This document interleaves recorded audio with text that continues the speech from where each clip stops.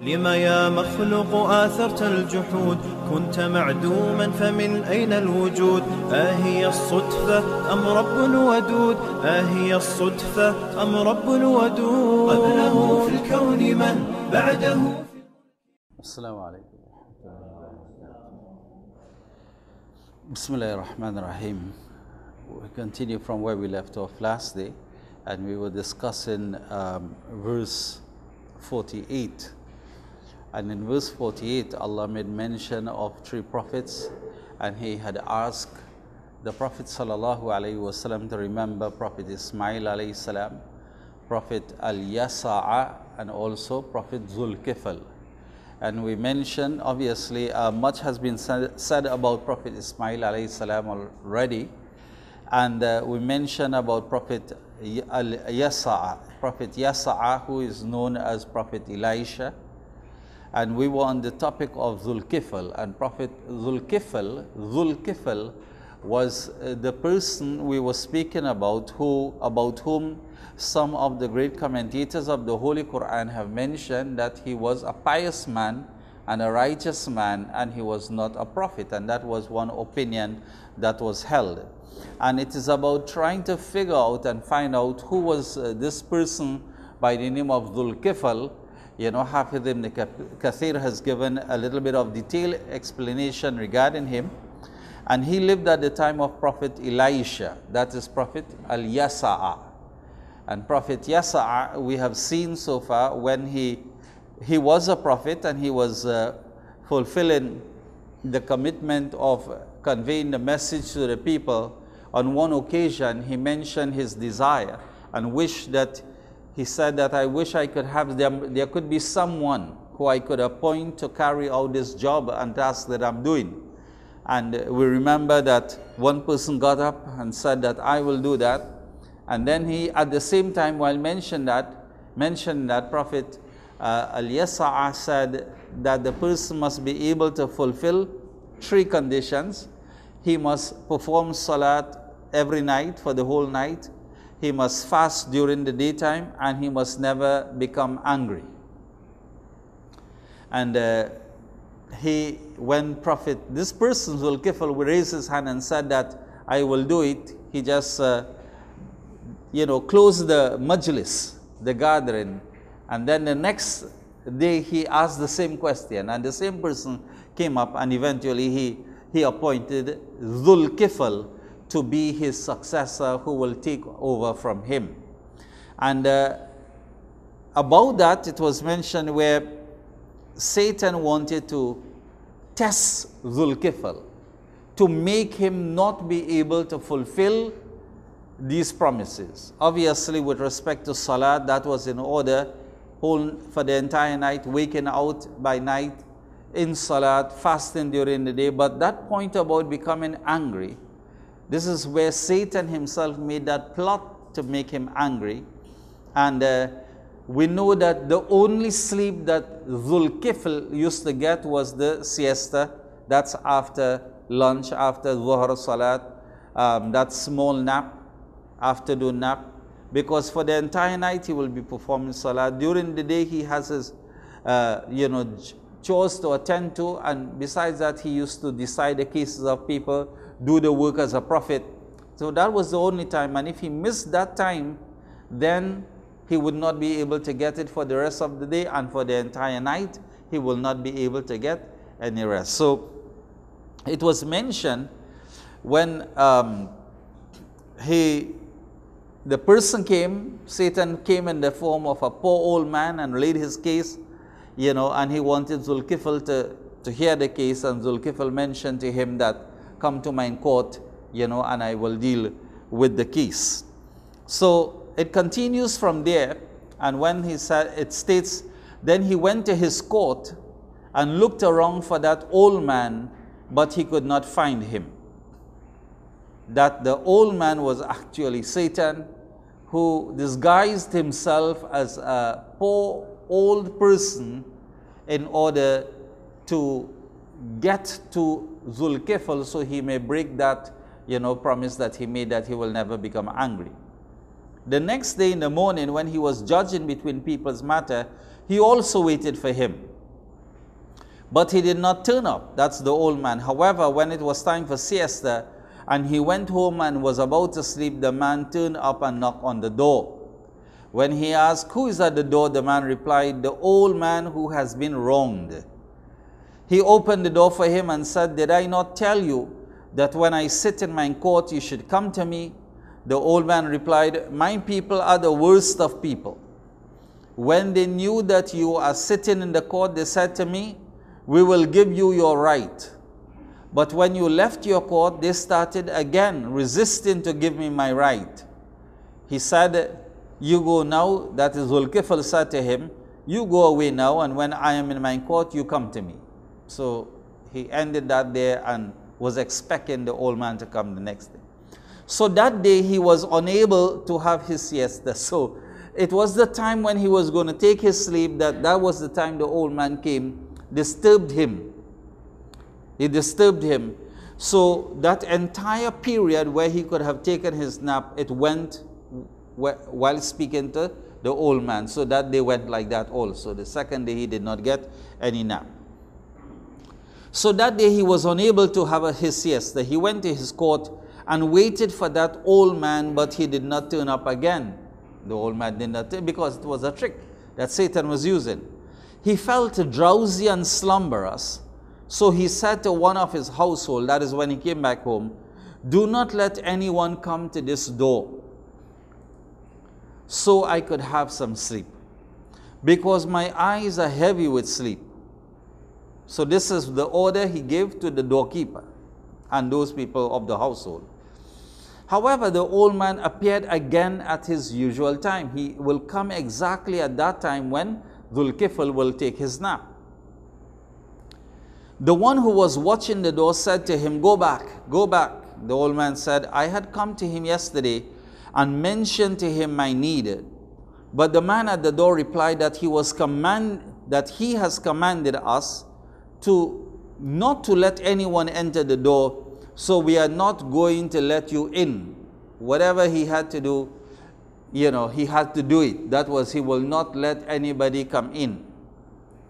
So when he, that's the old man, felt disappointed and he realized that he was not going to get through there, the person will not open the door for him. He climbed up the wall and got inside the house. Then he knocked at the door from inside because he was already inside but he wanted to grab the attention of Zulkifl, so he knocked the inside of the door. And the man woke up, that was Zulkifl. He said to the man at the door, Oh God, that's Zulkifl got up and he went to the, uh, that is the guard now. Oh God, did I not tell you not to let anyone in the house? The man replied, He did not enter the house from my side. He didn't pass here. I didn't allow him to enter here. Ask him from where did he enter. The man stood up to check the door, which he found closed. The old man was inside, so he knew who he was. He asked him, Are you the enemy of Allah? Referring to Shaitan. Are you the enemy of Allah? The old man replied, Yes, I am that person. You failed me in everything. Everything I did to test you, to put you to a severe trial, you failed me. You did not allow me to pass that. So I could not get through to you. So I did what I did to make you angry. And so Allah called him Dhul Kifl because he took the responsibility of doing something and he fulfilled it. This, is what, this was not his real name. Dhul Kifl, as I explained last day, Kifl in Arabic, it comes from the word kafala. Kafala means a guarantee, an assurance. So a kafil in Arabic is called a guarantor. You, you stand guarantee for another person. So it means responsibility. So because he took the responsibility to fulfill these three conditions, which he had mentioned to Prophet Al Yasa'a, he kept it. So he was called Zulkifl. Other traditions also state that he, you know, uh, he took stood the responsibility for some people, some poor people who used to use all their time in the obedience of Allah because he was from the Israelite, he was an Israelite prophet. And some people from among the Israelites, they had taken it upon themselves to worship Allah night and day. So they were fully absorbed in Allah's ibadat. And among the Israelites, there were many people like that who used to devote their entire lives in worshiping Allah subhanahu wa ta'ala. And because of that, they could not work during the day to earn a livelihood. So Dhul was the one who took the responsibility for them by telling them, You go ahead and worship Allah night and day. I will work and I will look after you all. And from that day, he was called Dhul the man who took up a responsibility for other people. Abu Musa al-Ash'ari radiallahu ta'ala, and the great Sahabi and companion of the Prophet sallallahu alaihi wasallam, while standing on the minbar, the pulpit, he once said, Dhul was not a prophet, but there was a pious man who prayed every day 100 prayers, 100 rakats. Then after that pious man died, he, Dhul took up as his duty to pray 100 prayers every day. Hence, hence he was called Dhul. So this is where a Prophet Al-Yasa'a, Prophet Elisha, when he was a prophet, he used to do this. During the day he will perform salat and during the night he will uh, he performs salat and during the day he will perform salat and observe the fast. And uh, he also never got angry with every, anybody. So when he was deputing somebody to take over his task, uh, he laid those conditions upon the person. So when Al Yasa'a passed away, Dhul took the responsibility to do the same thing. So in that way, he was called Dhul as uh, mentioned by the famous companion Abu Musa Ash'ari Hafiz ibn Kathir has mentioned this in his Al-Bidayah wa Nihaya.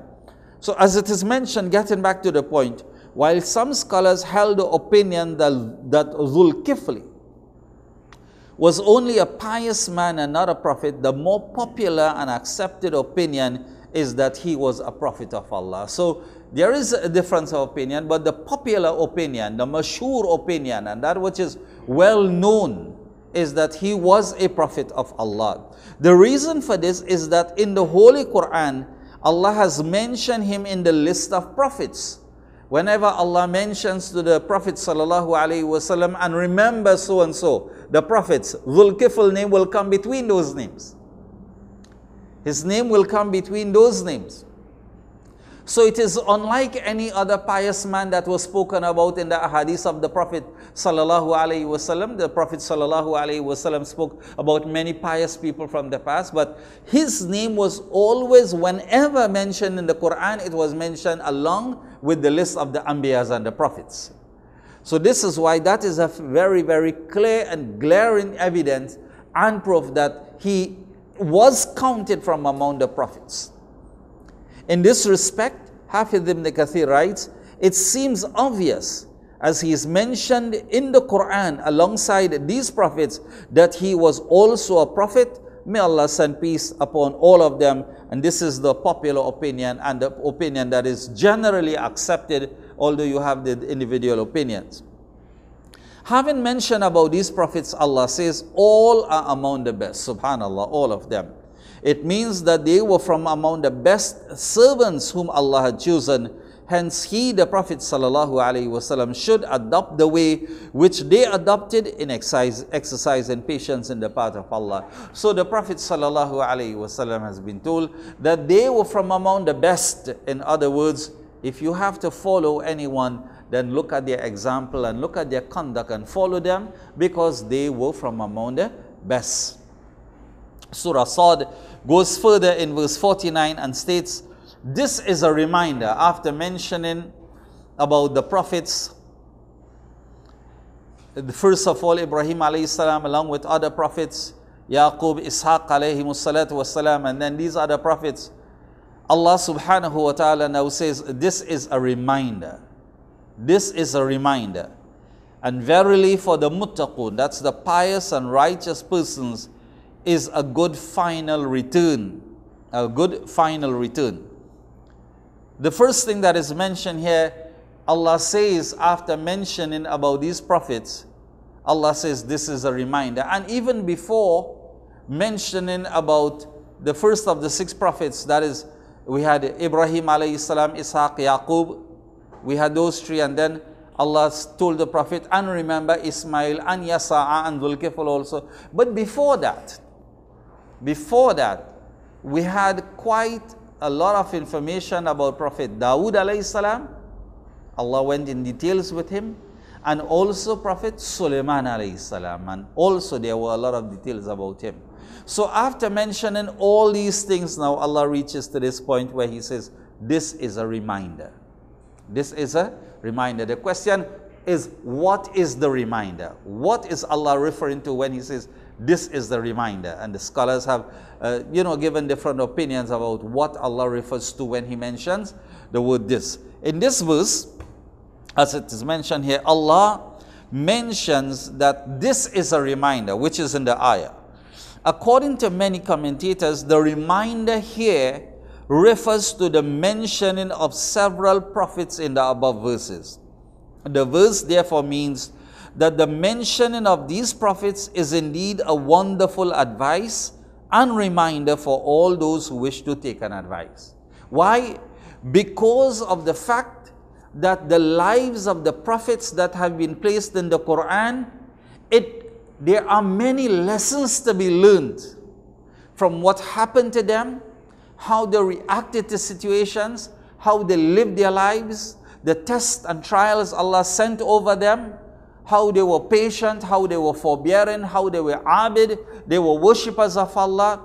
So therefore Allah is saying that the mention of these prophets in the Holy Quran itself is an advice to everybody who recites the Quran and believes. So a person can look at the life of Sulaiman alayhi salam and Dawood alayhi salam and Ibrahim alayhi salam and get a reminder from it, get lessons from it. It is also a reminder of these noble prophets of the past so that people may know and recognize them. So one is that in the mentioning of these prophets, there is a reminder to everybody. Every single believer can learn and will learn and must learn lessons from their lives. In that way, it is a reminder. The other is that by mentioning these prophets in the Holy Quran, those who will come after will now come to know about those prophets. So it's reminding the people that such and such prophets came in history. Because if the Quran was not revealed as the final book, then the truth will not be distinguished from the falsehood. And as to which prophets a person should believe in, and who are those people who are not prophets and they were called prophets? There will be no what? Nothing, no measurement, no yardstick, no criterion to determine that. And this is why the Holy Quran has been called a what? A furqan. It is the criterion between haqq and batil. So whatever wrong messages were propagated by the people in the past, the Quran placed that and set it right. Allah subhanahu wa ta'ala made it very clear what these people are saying is wrong. What they say about Prophet Sulaiman alayhi salam is wrong. What they say about Prophet Dawood alayhi salam is wrong. What they say about Adam alayhi salam is wrong. Subhanallah. Because many of them do not believe Adam alayhi salam was a Nabi. But Allah says he was a Nabi. He was indeed a Nabi of Allah, a Prophet of Allah.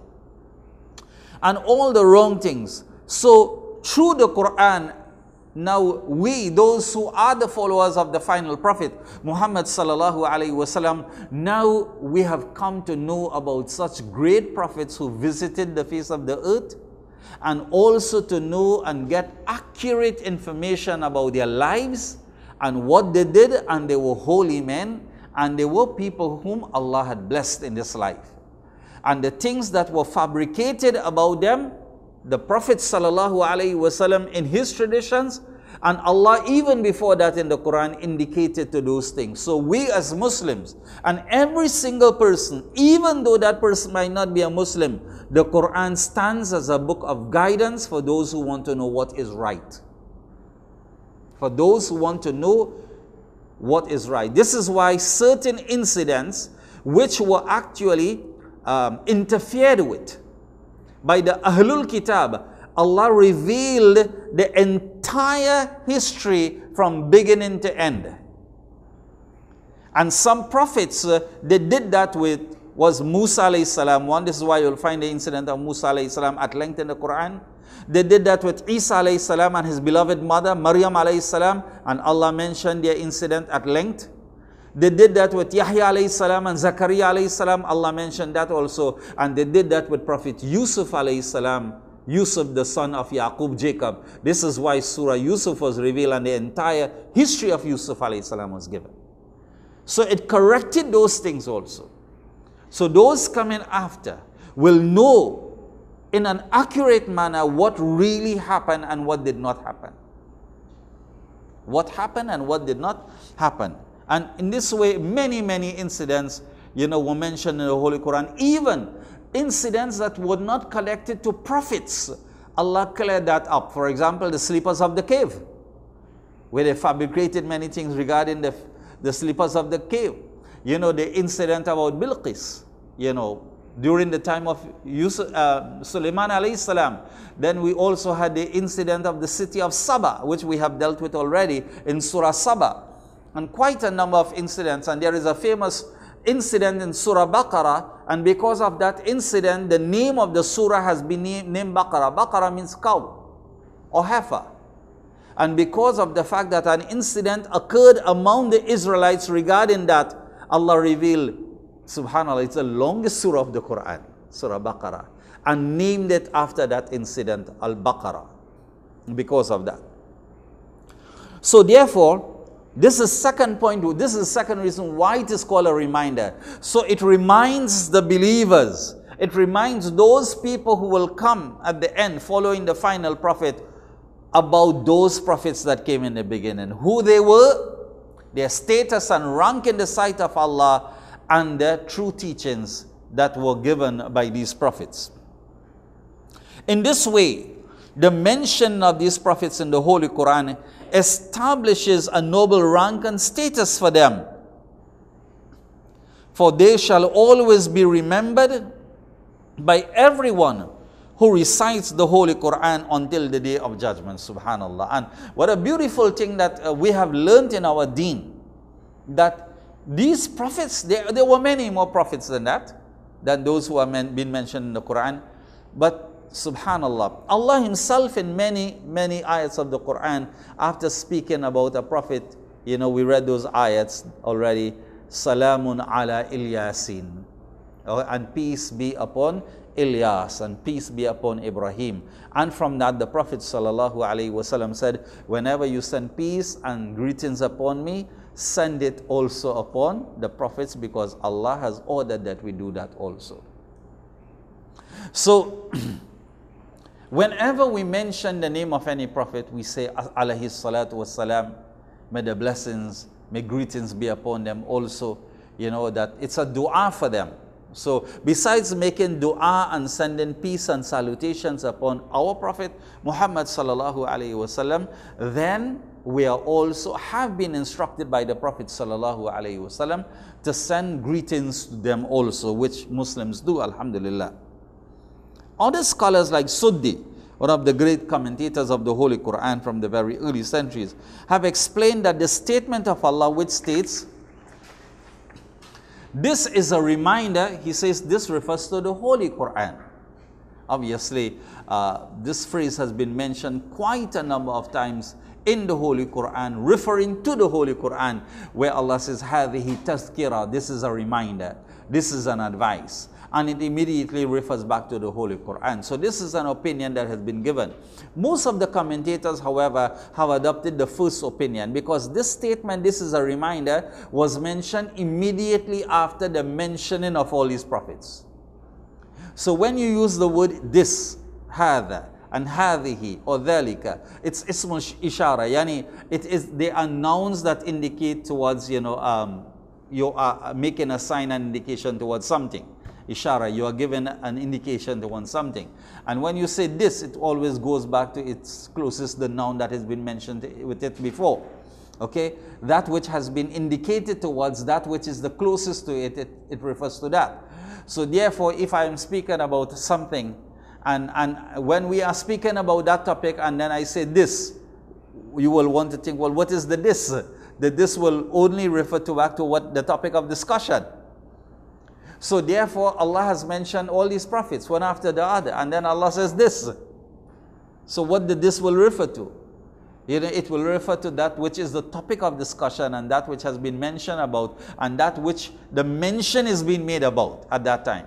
So this is why mm, the general body of the commentators of the Holy Quran have stated that is the best opinion which has been mentioned before that when Allah says this is a reminder, meaning the what the mentioning of these prophets in the Holy Quran one after the other, it is an advice, it is a reminder.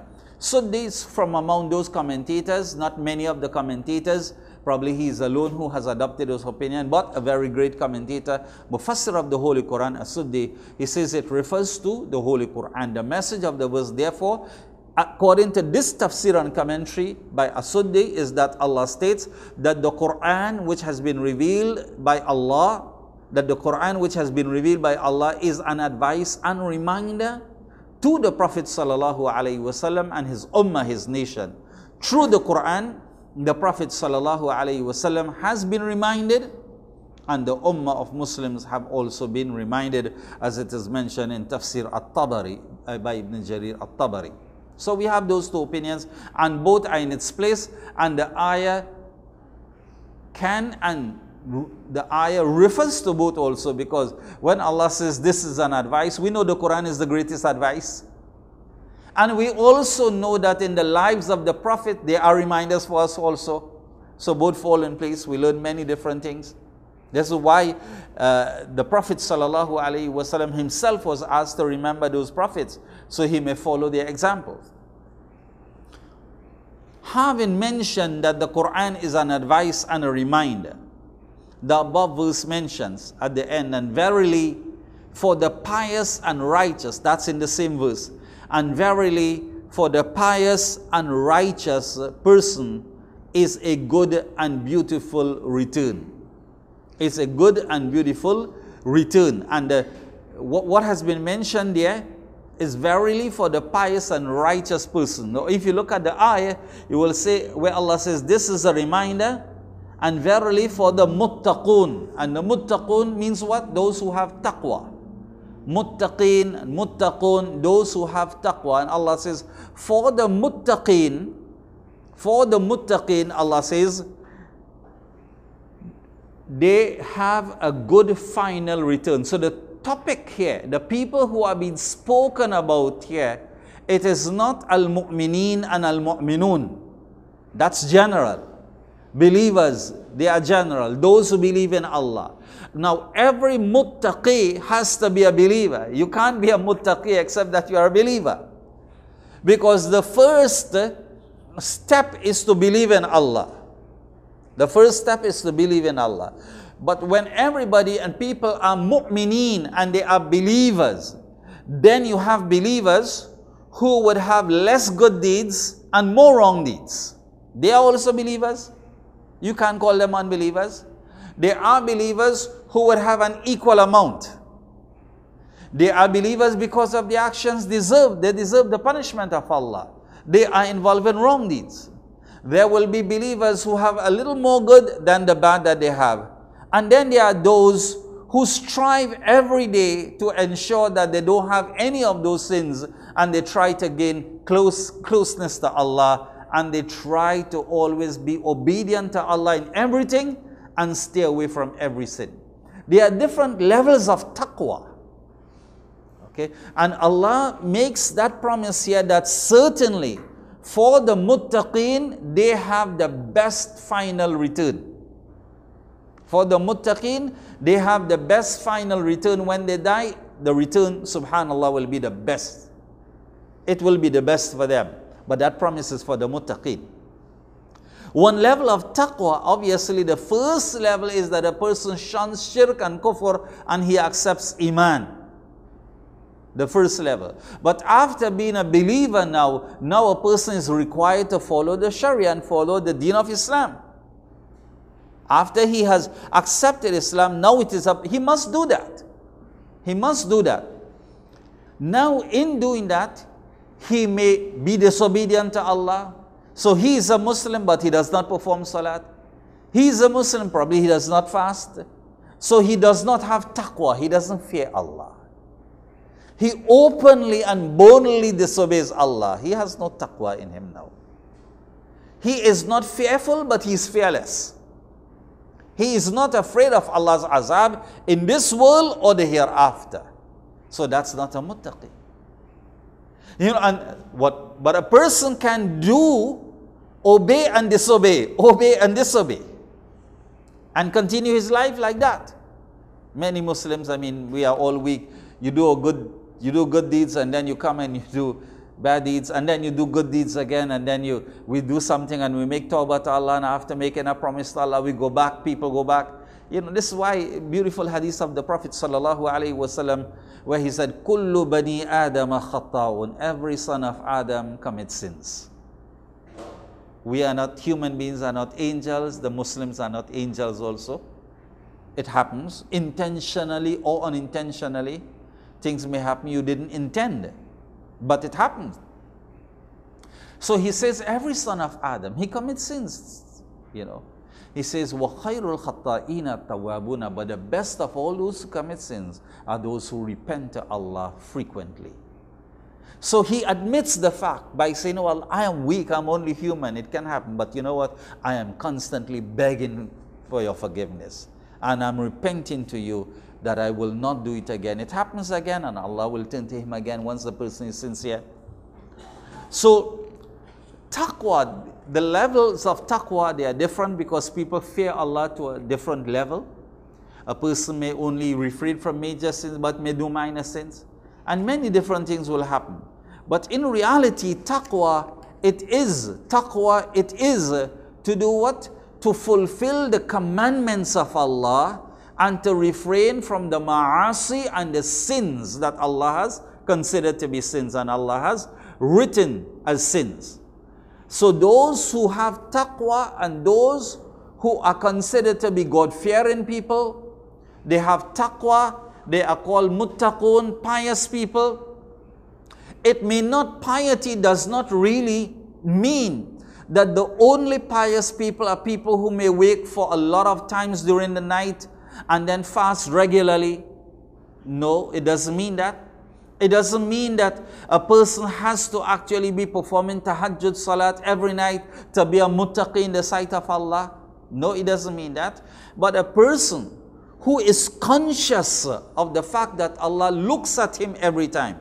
And everything he says, he's conscious that he doesn't say the wrong thing. He does not look at the wrong thing. He does not listen to the wrong thing. He's careful of what enters into his heart, that he does not entertain ill thoughts and evil thoughts. He is conscious of his thing. On one hand, he is fulfilling what Allah has made compulsory upon him, and at the same time, he is staying away from the haram.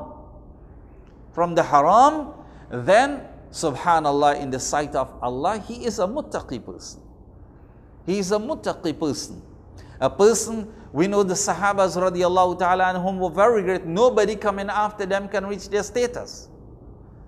But Abu Huraira radiallahu ta'ala, you know the Prophet sallallahu alayhi wasallam custom was that he will perform his witr salat after tahajjud and he will recommend and instruct everybody to do that. Some Sahabas could do it. And he, Abu Huraira, used to do his witr after Isha before he went to sleep. Why? Because some of them used to work so hard during the day. You know, working in the fields, the date palms in Medina, night and day you are behind that you become so tired that you perform your salat and you go to sleep and you get up for Fajr. But who can be better than the Sahabas with taqwa and piety? So Allah subhanahu wa ta'ala, He looks at the individual and what the individual is doing of goodness. Okay, and sometimes this is one of the things that come in our mind when we hear about piety and taqwa. You know, sometimes we as Muslims build this thing in our, our mind that you have to be doing so much and so much and, you know, I mean, wake the nights and get up for one third and then and only then you will be considered to be, you know, falling into the rank of the muttaqin. No, it doesn't like that. It doesn't happen like that. During the time of Imam Muhammad bin Hassan al-Shaybani, who was one of the great students of Imam Abu Hanifa. We are speaking about the first, second century Islam, the time of the Tabi'in, the children of the Sahabas. So he was a very, very great scholar, very great muhaddith, very great faqih and jurist, and very great mujtahid. There was a person, other, other, other great scholars at that time also. Now, Imam Abu Hanifa and the students of Imam Abu Hanifa, they were experts in fiqh. But fiqh, the, the subject of fiqh comes from the Quran and the Sunnah. It can't come from anywhere else. Fiqh has to come from the Quran and the Sunnah. This is what, these are the sources of fiqh. But they were experts in the field of fiqh. So many books that they have written has been on fiqh. You know, fiqh, um, Islamic law, Islamic jurisprudence, interpretation of Islamic law.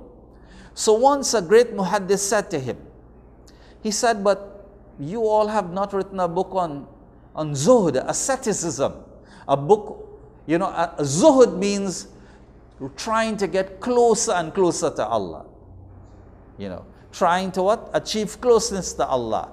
So, you know, I have many books speaking about a lot of fadail and a'mal. If you do this, you will get so much blessings. And if you do that, you will get so much blessings. And if you do this at this time in the morning or in the evening, then you will reach closer to Allah and all these things. So, remember, Islamic law is not about fadail, not about virtues. It's about the law itself. It's about the Sharia. So they said to him that you people have not written any book about zuhd. You know, so he says yes. But he says, no, you haven't written anything about that. He says, which book have you written?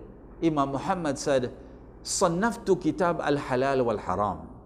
He says, I wrote, wrote the book that is called Al-Halal and Haram. And there can't be any greater zuhud and piety than doing what Allah has made halal and staying away from everything that Allah has made haram. That is true zuhud and taqwa. That's true zuhud and taqwa and piety. That whatever Allah has made haram, you stay away from it. What Allah has deemed to be halal, do that, use that, behave like that. It should not happen that while a person is trying to build himself, he is still doing haram things.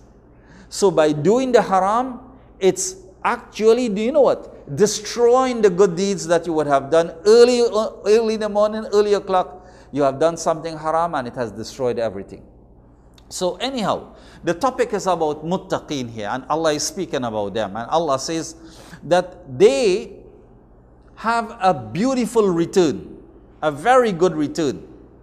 It means that for every person who feared Allah by obeying His commands, and he feared Allah by refraining from sins, so, fear of Allah must come about in two ways. On one hand, it is not just doing good deeds, but the fear of Allah requires a person to also stay away from bad, stay away from sins. So, a person should not only be building his good deeds, and he forgets the fact that he has to abstain from certain things also. And it does not happen that a person thinks to himself, I must only stay away from haram, but at the same time, he is not building his good deeds. Both things must be done obedience to Allah's commands, and at the same time, refraining from all those things that are haram. That is true taqwa and piety. And who, those and that person who was obedient to the messenger of Allah and all the other messengers there will be, Allah says, there will be a beautiful place of return in the hereafter for them. Where they will return to, what place they will return to, it will be the best, it will be a good place. With respect to the beautiful and good return that Allah has mentioned, which the pious persons will achieve in the hereafter, Allah mentions this in verse 50 of Surah Sad and states, Aden, Jannatu Adenin. The word comes in Arabic, adn. Ad, Aden paradise means Jannatu Adn, Aden paradise. In brackets, it means everlasting gardens because the word Adn, one of the translation of the word Aden, it means that which lasts forever and that which lasts for a very long time. Whose doors will be open for them. This is that beautiful return because Allah says, certainly for the pious and the righteous ones, they will have the best return, best place of return. Wherever they are going to go back to after having lived this life on the face of the earth, Allah says, where they are returning to, they will have the best. Subhanallah. What is that place? Allah says, Jannatu Adan. That place of return will be the paradise called Adan or the everlasting gardens. And a sifat of that is that the doors will be wide open for them to honor them, to welcome them. The verse explains that the pious ones will have paradise of Adan, which refers to eternal gardens. That's paradise. These will be ever, everlasting and will never end. This is why it's called Jannatu Adan. It will never come to an end. It will never come to an end.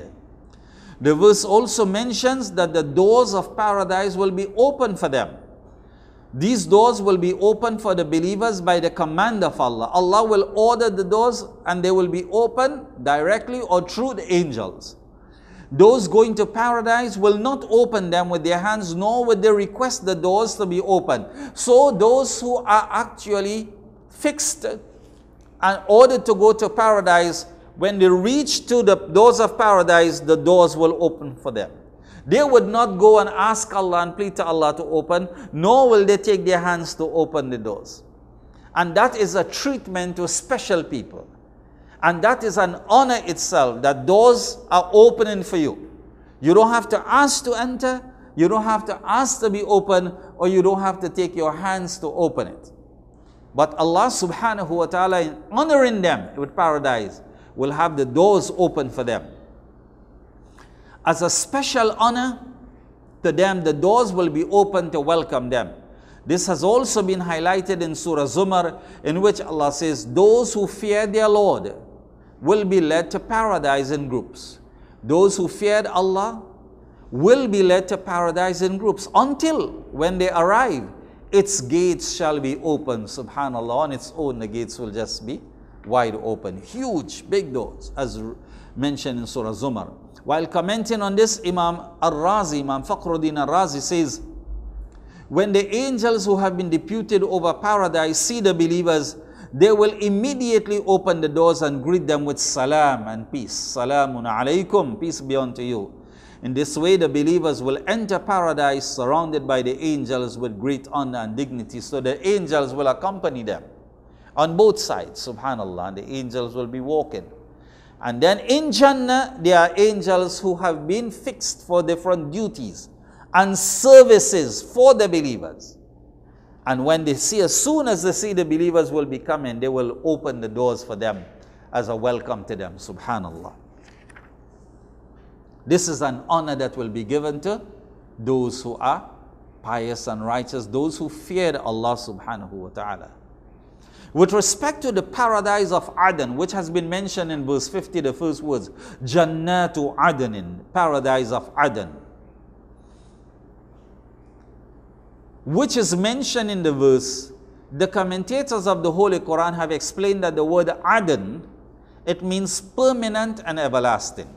Hence, with this meaning, the verse explains that the believers will have a permanent and everlasting paradise in the hereafter. So that's the straightforward translation. So if Adan means permanent and everlasting, Jannatu Adenin will mean gardens in paradise which will be everlasting and it will never come to an end. However, there is another commentary. The commentators have also explained that the word Adan is the name of a place in paradise that we often hear what? Sometime you will see the translation there, Eden, the Garden of Eden. Obviously, it's close to the word Adan whatever, wherever, you know, whether it is so or not, Allah alone knows the Garden of Eden and Jannatu Aden. But it is the name, according to these commentators, which also has been accepted. It is the name because there are seven different stories in Jannah. Each has a different name. The Prophet ﷺ says the best and the highest is Jannatul Firdaus. There is Jannatul Ma'wa also. There is Jannatul Na'im. The highest Jannah, he says, so when you make dua to Allah for Jannah, ask for Jannatul Firdaus. It is the highest and the best Jannah. So Jannatu Adn, they have mentioned Jannatu Adn as being one. Regarding this, Hafiz ibn Kathir alayhi rahmah has narrated a tradition in which Abdullah bin Amr radiallahu ta'ala stated that the Prophet sallallahu alayhi wasallam said, Verily, in paradise there is a castle which is called Aden. Qusur, a qasran, a castle which is called Aden. Around it, there are towers and meadows, subhanallah. Lofty towers around it, meadows, like pastures right around it, subhanallah.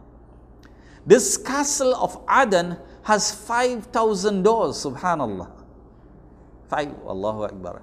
And at each door there are 5,000 silken wraps or shawls, like how probably how curtains will be or drapes will be hanging. There will be 5,000, you know, at these doors.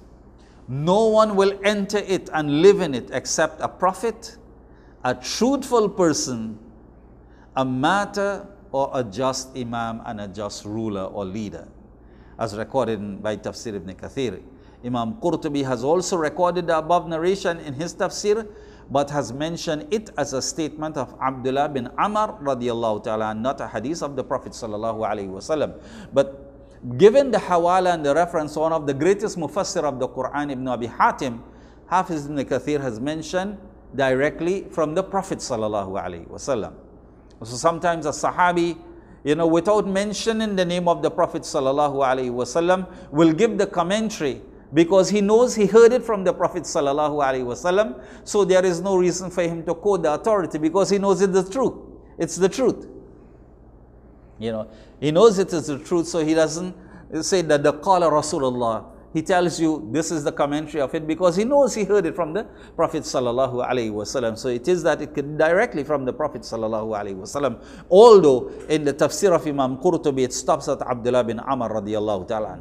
Hafiz ibn Jarir al-Tabari has also mentioned an explanation of the Jannah, the paradise, which is known as Adan, Jannatu Adan, and stated that Qatada, one of the great mufassir of the Holy Quran and Tabi scholars, alayhi rahmah, while commenting on the paradise of Adan, Jannatu Adan, mentioned that once Umar radiallahu ta'ala an asked Ka'b radiallahu ta'ala an, about Adan. He says, Mal Adan. He says, Oh, Ka'b, Ka'b was a Sahabi also, a great scholar. He says, What is Adan? Adan mentioned in the Quran. What is that? He replied, O Amirul Mu'mineen, O Commander of the Faithful, Jannatu Adan, the paradise of Aden, they are castles in Jannah, which are made from gold the prophets, the truthful ones, martyrs, and just imams and leaders shall live in these. Which means that it's basically the same thing. He did not go into details to mention about the 5,000 doors and the 5,000 silken shawls and wraps at each door. But he mentioned basically the same thing that Aden, there are castles in paradise, different castles that people will be given, special people will be given. So Allah subhanahu wa ta'ala taking this into consideration, Allahu Akbar. Allah says, certainly for the God-fearing people, they will get Jannatu Aden.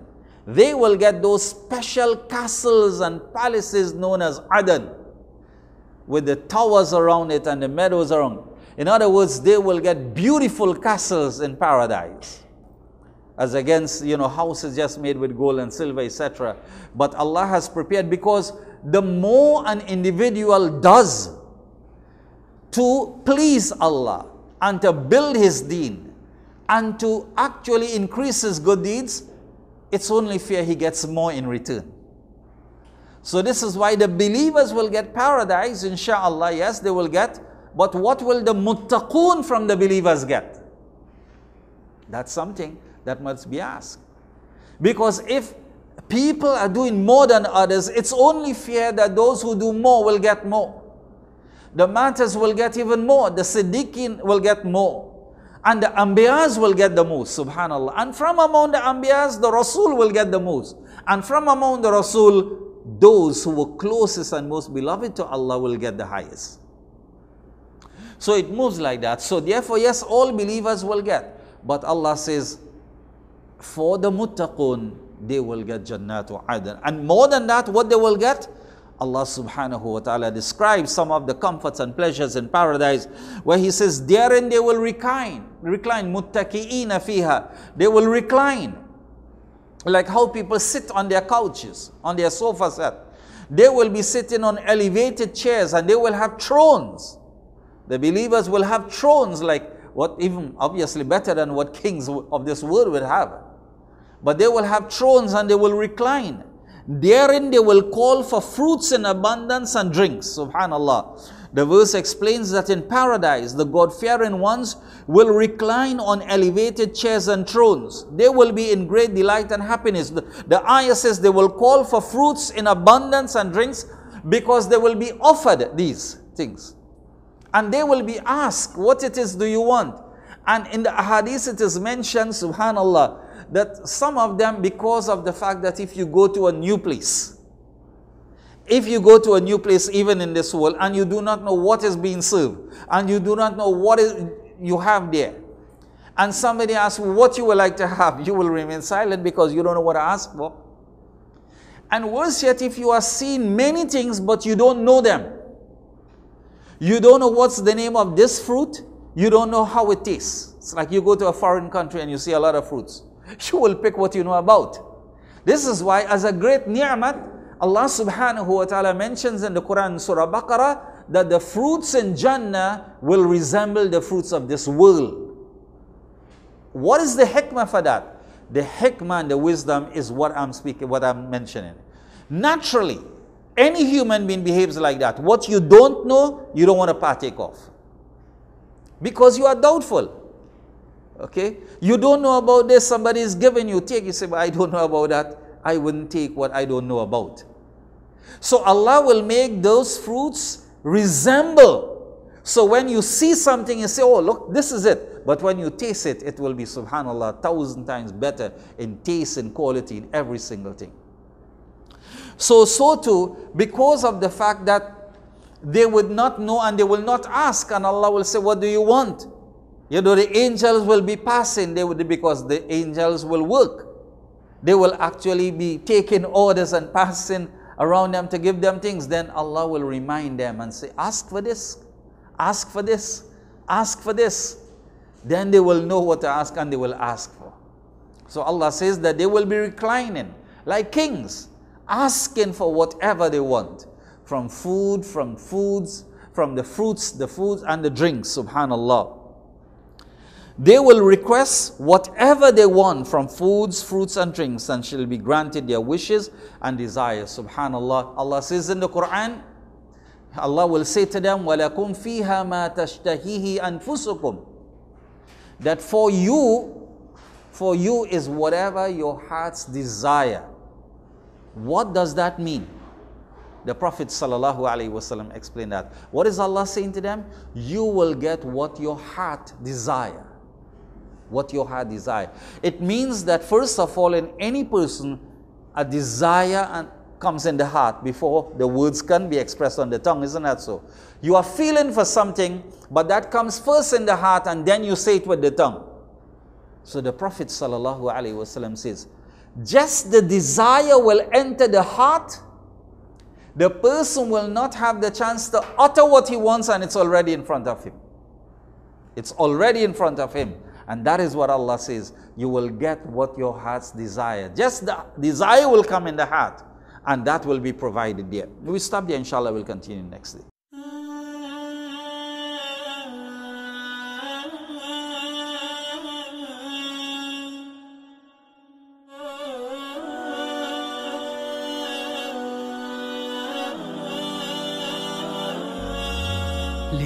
دنيا الناس بتقسى كل يوم على بعضها.